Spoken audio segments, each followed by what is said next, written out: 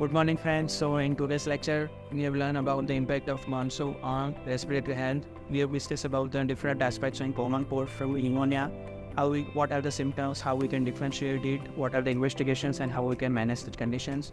We have also seen the impact of monsoon on the asthma and COPD patients.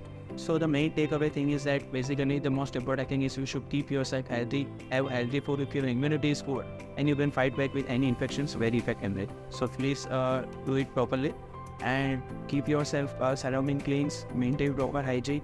And the last and important is to not to forget your flu shots or pneumococcal vaccines because these vaccines have also important preventive work. So enjoy monsoon with precautions. Thank you.